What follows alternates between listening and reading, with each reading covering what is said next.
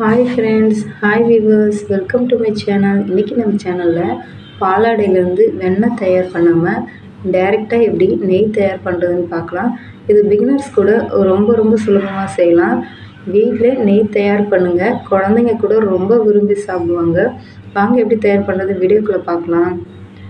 நீங்கள் வீட்டில் எத்தனை லிட்டர் பால் வாங்கினாலும் சரி இந்த மாதிரி பாலை நல்லா காய்ச்சி ஒரு கொதி வந்தாலே போதும் பாலாடை தயார் பண்ணுறதுக்கு இந்த மாதிரி ஒரு கொதி வந்ததும் ஸ்டவ்வை ஆஃப் பண்ணிவிட்டு இது நல்லா முழுமையாக ஆற வச்சுக்கோங்க.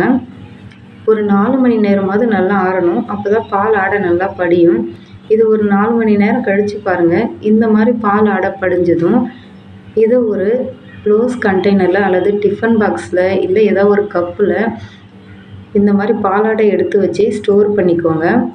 ஸ்டோர் பண்ணிவிட்டு மூடி போட்டு மூடி தண்ணி படாத அளவுக்கு இதை ஃப்ரீசரில் வச்சு ஒரு பதினஞ்சு நாளைக்கு ஸ்டோர் பண்ணுங்கள் பாருங்கள் ஃப்ரீசரில் மட்டும்தான் வைக்கணும். வெளியே வைக்கவே கூடாது. ஃப்ரீசரில் வச்சா தான் கெட்டு போகாமல் இருக்கும்.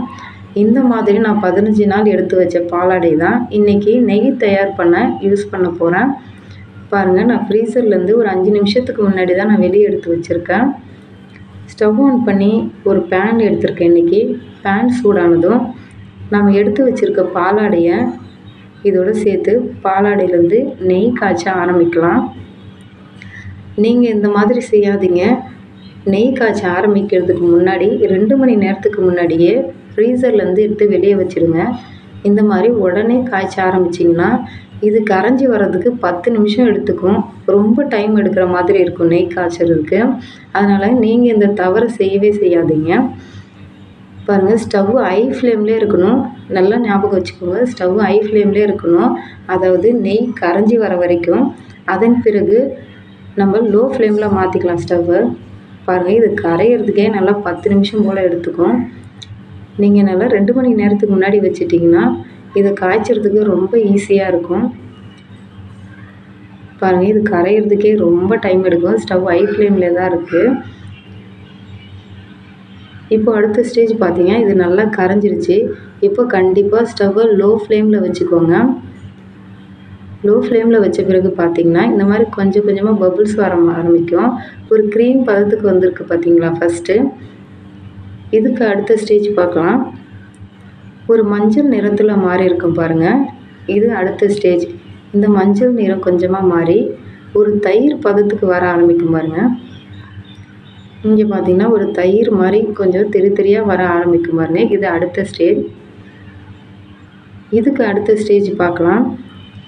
இன்னும் கூட இந்த தயிர் மாதிரி இருக்கிறது கொஞ்சம் நல்லா கெட்டியாக திரு திரியாக ஆகும் பாருங்கள் இங்கே பாருங்கள் இந்த மாதிரி. அடுத்த ஸ்டேஜ் இந்த மாதிரி ஆரம்பிக்கும். ஸ்டவ் லோ ஃப்ளேமில் தான் இருக்கட்டும். பாருங்கள் இந்த மாதிரி கெட்டியாக தயிர் மாதிரி மாறி வர ஆரம்பிக்குது. இதுக்கு அடுத்த ஸ்டேஜ் பார்த்திங்கன்னா இந்த கெட்டியாக இருக்கிறதுலாம் கொஞ்சம் சின்ன சின்னதாக மாதிரி கொஞ்சம் இந்த தை இந்த நெய்லாம் கொஞ்சம் மேலே வர ஆரம்பிக்கும். கீழே வந்து அந்த பார்ட்டிகல்ஸ்லாம் படிய ஆரம்பிக்கும் பாருங்கள் இருக்க இருக்க. ஒரு ப்ரௌன் கலரில் நல்லா மாறிக்கிட்டே இருக்கும். இன்னும் கூட கொஞ்சமாக பபுள்ஸ் வர ஆரம்பிக்குது. இந்த பபுள்ஸ் எல்லாம் நல்லா அதிகமாகும் பாருங்கள் இதுக்கு அடுத்த ஸ்டேஜ் பார்த்திங்கன்னா இந்த மாதிரி பபுள்ஸ் வர ஆரம்பிச்சிருக்கு. நிறைய பபுள்ஸ் விடாமல் வர ஆரம்பிக்கும். இதுக்கு அடுத்த ஸ்டேஜ் பாருங்கள் இந்த மாதிரி பபுள்ஸ் விடாமல் அதிகமாக வர ஆரம்பிக்கும். கீழே இருக்க பார்ட்டிகல்ஸ்லாம் நல்லா ப்ரௌன் கலரில் படிஞ்சிருக்கு பாருங்கள் பாருங்கள் இந்த மாதிரி ஸ்டேஜில் ஒரு ரெண்டு கல்லுப்பை இதோட சேர்த்துக்கோங்க. அல்லது கொஞ்சமாக கருவேப்பிலை இல்லைன்னா முருங்கைக்கீரை ஒரு நாலஞ்சு வெந்தயம் கூட சேர்த்து இதை முறிய வச்சுக்கோங்க. இதை சேர்த்துட்டு இந்த மாதிரி நுர வர ஆரம்பித்ததும் ஸ்டவ்வை ஆஃப் பண்ணி விட்டுடு. முழுமையாக ஆற வச்சு இந்த மாதிரி வடிகட்டி எடுத்துக்கோங்க. முழுமையாக ஆற வச்ச பிறகு எந்த வடிகட்டியில் வேணுனாலும் வடிகட்டிக்கலாம். பாருங்கள் வடிகட்டின பிறகு இந்த மாதிரி படிஞ்சிருக்கும். டைரெக்டாக பாலடியிலேருந்து நெய் தயார் பண்ணும்போது இந்த மாதிரி தான் படிஞ்சிருக்கும். பாருங்கள் நெய் தயார் பண்ணியாச்சு. இது உடனே மணல் மணலாக பார்க்கணுன்னு நினச்சிங்கன்னா ஒரு மணி நேரத்தில் ஃப்ரிட்ஜில் வச்சு எடுத்து பாருங்கள் இந்த மாதிரி கட்டியான மணல் மணலான நெய் தயாராகிடுச்சு வீடியோ பிடிச்சிருந்தா சப்ஸ்கிரைப் பண்ணுங்கள் லைக் பண்ண மறக்காதீங்க. உங்கள் ஃப்ரெண்ட்ஸ்க்கும் ஷேர் பண்ணுங்கள் ரொம்ப ரொம்ப சுலபமாக வீட்டிலே நெய் தயார் பண்ணலாம். ரொம்ப சுத்தமான பசு நெய். ஒரு பதினஞ்சு நிமிஷத்தில் வீட்டிலே தயார் பண்ணிடலாம். Bye friends